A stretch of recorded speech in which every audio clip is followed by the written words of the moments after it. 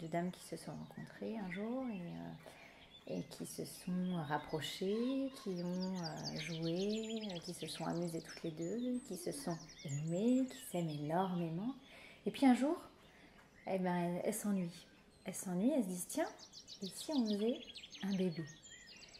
Et pour ça, ben, deux dames, c'est pas possible. Il faut un monsieur et une dame pour faire un, bébé. Alors les deux dames, elles demandent à un monsieur s'ils peuvent lui faire un cadeau et le monsieur leur fait le cadeau, il leur donne un petit spermatozoïde qu'on met dans le ventre de maman. Et là, il y a un petit bébé qui grandit, qui grandit, qui grandit.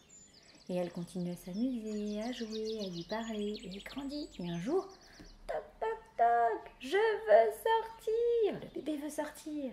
Alors on va voir le docteur, parce qu'il faut un docteur pour nous aider à le sortir. Et là, le docteur nous aide à le sortir, il nous le donne et on se dit Oh, qu'est-ce qu'il est beau Oh, qu'est-ce qu'il est joli Mais comment on va l'appeler? On va l'appeler Swan. Et les mamans s'aiment toujours autant et elles aiment Swan à la folie. Et elles s'amusent et elles jouent. Et elles continuent à rigoler tous les jours, tous les jours. Et on est tous les trois à s'aimer à la folie.